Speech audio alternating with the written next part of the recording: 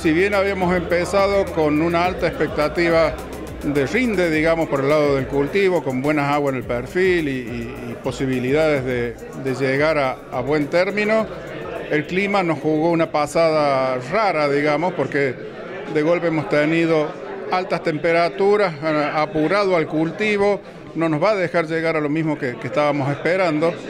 Y en sus principios, y estamos hablando de agosto, tuvimos algunos picos de roya, tanto anaranjada como amarilla, que marcaron necesidad de poder controlarla, para poder manejarla y decir, bueno, la expectativa, por lo menos por el lado de los patógenos, no va a ser mermada. Todo eso cambió. Después de agosto el clima, el clima nos bajó la humedad, nos secó el ambiente, ni hablar del septiembre caluroso que hemos tenido y eso frena todas las enfermedades. ¿Qué decir hoy sobre trigo? Bueno, que ojalá el agua esta nos sirva para compensar un poco lo que, se llevó el calor en su tiempo y el apuro que le, que le ha pegado al cultivo, adelantándolo básicamente, influenciando lo que es llenado de grano y lo único que tenemos que esperar es que termine el ciclo para poder cosechar. En garbanzo, donde el ciclo es un poco más largo todavía, eh, si bien habíamos tenido una baja de producción, las plantas venían bien, los lotes venían bastante, bastante bien sin afecciones.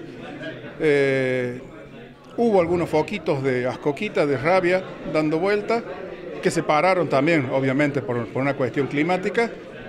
Y hoy, después de la lluvia y viendo lo que nos falta y, con el llenado de, los cascabullos, de las semillas ya eh, en marcha, hay que monitorearlos. Hay que monitorearlos pensando que pueda llegar a haber una reaparición de rabia.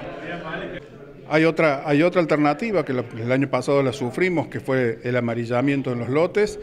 Eh, estos, estos casos de mm, básicamente oscilaciones tan grandes ¿no? de, de temperaturas y de humedad hacen que muchas veces aparezca y empiece a evidenciarse amarillamiento. No hay que asustarse, porque lamentablemente para eso lo único que podemos hacer es, manejarlo año a año con, con rotaciones, con secuencias, seguirlos, tomar datos, anotar, decir este lote cuánto tengo, me va a crecer o no me va a crecer la enfermedad.